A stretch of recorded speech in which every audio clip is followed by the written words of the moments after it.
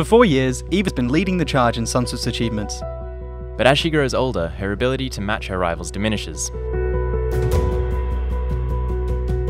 So, we're taking what we have learned from Eve in those four years to design a solar electric car to surpass her and all those who have come before her.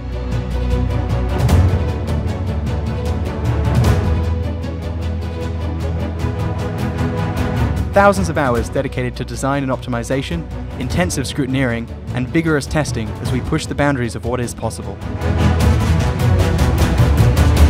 After a year of design, she's ready to be revealed. We are proud to announce that she is set to take on the Bridgestone World Solar Challenge. So come and see the next generation in Sunswift's history.